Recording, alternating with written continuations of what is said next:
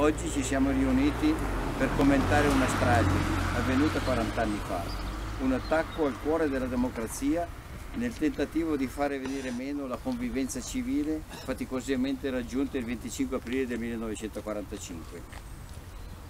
Nel corso del blitz in via Fani a Roma furono uccisi due carabinieri che viaggiavano con Moro, Domenico Ricci e Oreste Leonardi, e tre poliziotti dell'auto di scorta, Raffaele Iozzino, Giulio Rivera e Francesco, e Francesco Zizzi.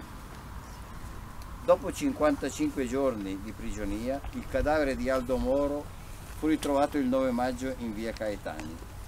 Allora il paese seppe reagire alla violenza del terrorismo, senza smarrire l'ancoraggio ai valori della Costituzione. La memoria di quella, tra di quella tragica mattina deve, to deve tornare ad unire il nostro paese nella consapevolezza che la democrazia è un bene fragile, la cui difesa spetta ad ognuno di noi perché ci è stata donata con immensi sacrifici. Ma la democrazia ha bisogno anche di verità e di giustizia.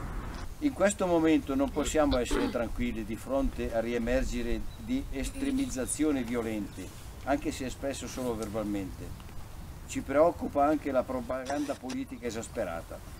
Dobbiamo stare attenti a questi sintomi perché se si intensificassero potrebbero ricreare tensioni sociali simili a quelle che abbiamo visto in quegli anni, che sono stati chiamati anni di piombo.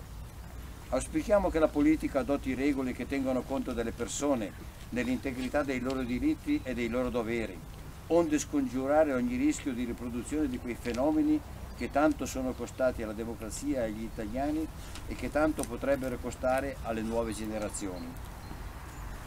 Questa commemorazione ci dà stimolo per un maggiore impegno a tradurre le diverse esigenze che emergono dalla società in atteggiamenti che contribuiscano a stemperare quel clima di disfattismo e di egoismo che si aspeggia nelle nostre comunità. Solo così il sacrificio di Aldo Moro, Oreste Leonardi, Domenico Ricci, Raffaele Iozzino, Francesco Zizzi e Giulio Rivera non sarà stato vano. Grazie davvero dell'attenzione.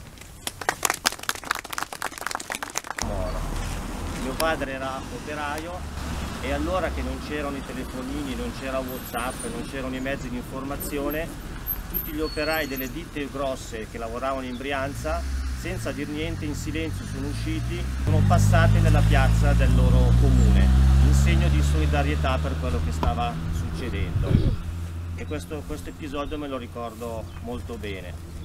L'altro aspetto importante, se non vogliamo dimenticare il suo sacrificio e quello degli uomini della scorta, cittadinanza e Costituzione può voler dire molte cose.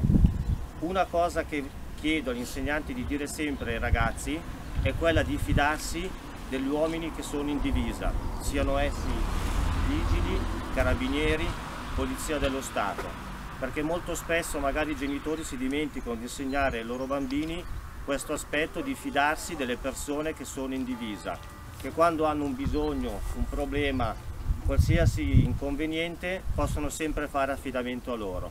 Questo secondo me è l'inizio che ci deve essere nella materia di cittadinanza e Costituzione, fidarsi degli uomini di Stato, che abbiamo visto come in questo esempio arrivano addirittura proprio perché ci credono nel loro lavoro a dare la vita per qualcosa di più grande anche del nostro Paese.